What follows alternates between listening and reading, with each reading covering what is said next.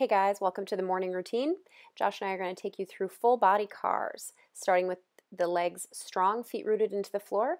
Go ahead and fist your hands next to you, engage through your abs. Body should be holding tension about 30% effort.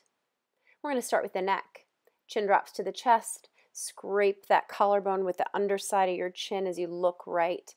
Continue that circle all the way around and back through to the left. Find that chest again with your chin and lift, reversing directions.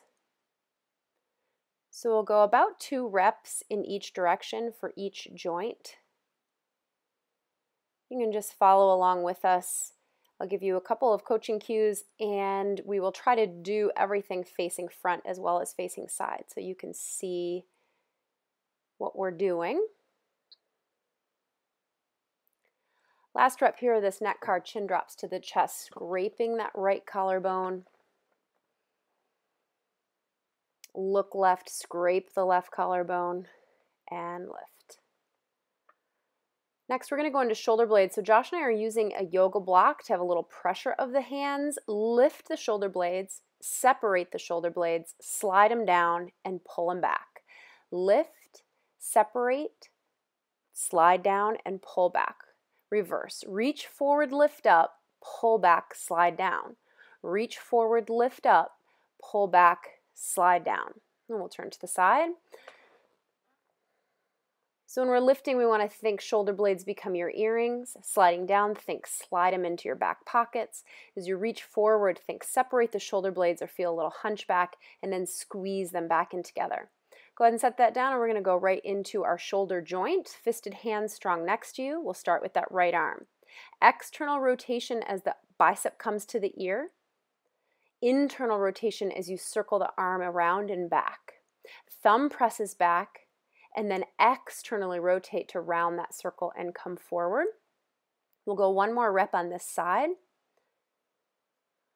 coming across the body. When you hit that first roadblock, freeze, engage through your abs more, and then internally rotate to reach around and back behind you. Back of the hand lands at the hip. Thumb presses straight back, and now unwind that doorknob as you reach all the way palm up. Come across the body just a bit, reset at that hip. And then we'll go into that left arm. External rotation as you come across the body and up. Bicep finds the ear. Internal rotation as you reach the arm open and back, back of the hand lands at the hip. Thumb presses straight back. Turn that doorknob as you round that corner. Bicep comes back across the body. One more rep. When we hit that first roadblock again, internally rotate as you reach back, keeping the torso as still as possible thumb back, stretch through the shoulder, and now externally rotate or spiral open with that bicep to come across the body. We'll come back facing the front now for elbows. We're going to do both elbows at the same time.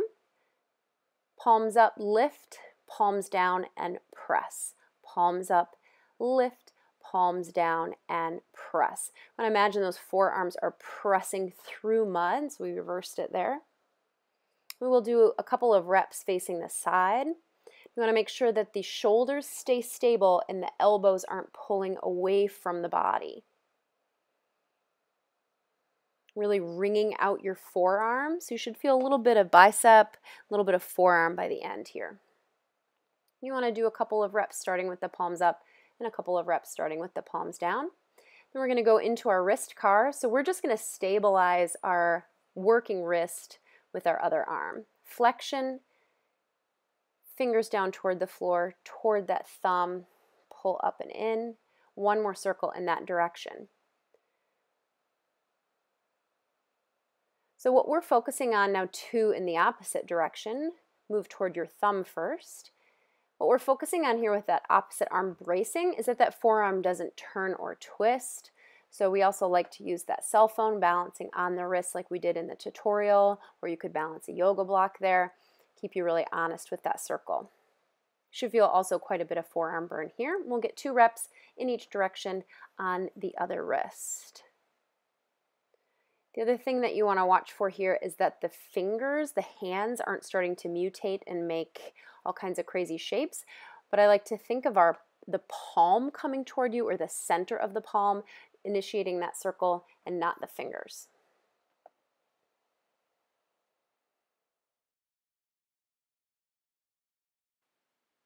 Next, we are going to be transitioning to our hip. So if you want to grab onto something to hold for balance on your supporting side, go for it. Or just brace your um, upper body and your supporting leg really strong like Josh and I are going to show. So we're starting with that right leg. Externally rotating the right leg as you lift up into flexion, carrying that picture sideways until you hit that first roadblock internally rotating the femur as you circle the leg back and behind you. I'm a little speedy here. Picking the leg up, think push back and with the heel, then lift side, externally rotate as you come out and around. We'll go one more rep, turn to face the side. Lifting the leg up in that turned out position, carry that picture side, internally rotates. That knee is going to drop, the heel may lift. You can see Josh has much more internal rotation than I do on this side. My knee drops pretty significantly. Here, push the heel back as you squeeze the glute forward, lift straight side. Then externally rotate, try to drive the knee up toward your armpit as you carry across the body and reset. Other leg. Externally rotate and lift. Come across the body just a little as you come up into flexion carry side, internally rotate, try not to stick your butt out or dump your pelvis forward, lowering that foot. When you reset that foot, maybe we get a little hamstrings, really drawing that heel up toward the glute. Lifting the knee up toward that armpit as you find that external rotation and carry around forward and reset. We'll finish one more rep facing the side. Josh has both hands balanced out to the side, and I kind of switch from both hands out to one hand wrapped around my rib cage. It's good feedback for me. Last rep here, the heel lifts, push the heel back, squeeze the glute forward. Lift straight side, then find that external rotation. Carry out and around to the front and lower. Next, we're going to transition to all fours. So we're going to finish up with cat-cow, knee, ankle, and toe cars. So we'll start in that camel or cow position, that spinal extension on all fours. We're going to initiate tuck the tail first, so tailbone to head as you reach and find that cat stretch position, as deep into that cat stretch as you can find, and then releasing tail to head back into that full spinal extension. I really like to use focus here so you can see that Josh and I are trying to keep our eyes or our head as lifted as possible for as long as possible as we go into that cat stretch. And then here I like to think about looking in between my thighs or keeping my focus at my knees for as long as possible to lengthen from tail to head. Staying engaged through the shoulders at that end so we're not sinking in that upper back. So we're going to spin around now for knee cars. So this is where we are physically moving the kneecap. We're seated here on the floor and we're going to take each kneecap, push it side to side, up and down, and circle it around in each direction a couple times.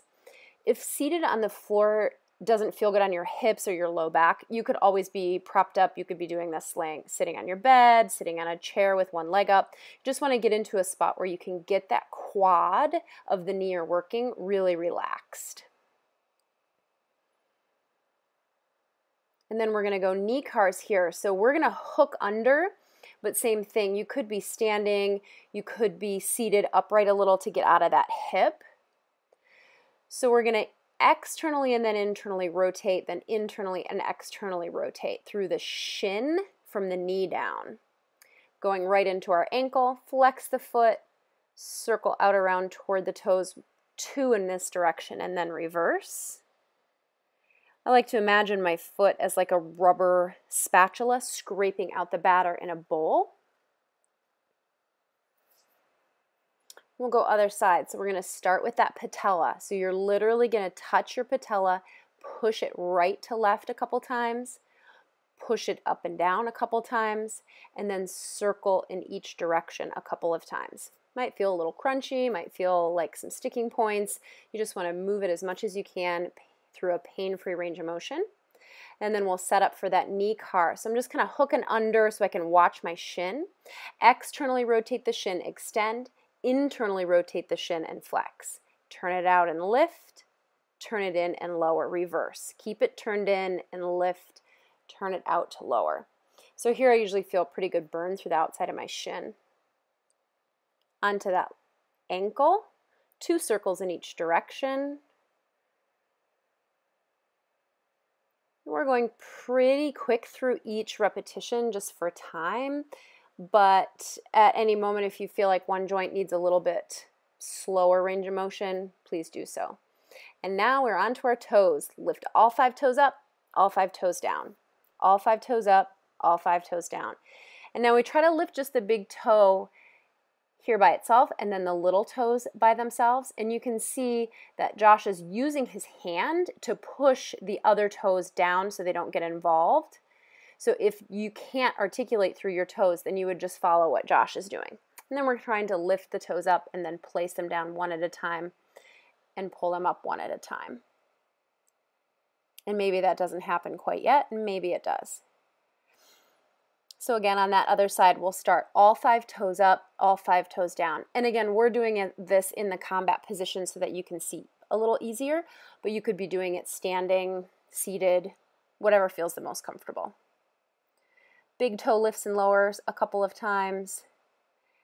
And then the little toes lift and lower a couple times. And again, if you need that assistance, you can see Josh is pressing that big toe into the floor to get the little toes to lift on its own. And then we're going to play the piano with our toes to finish it off. And that, my friends, is your morning routine. Great job.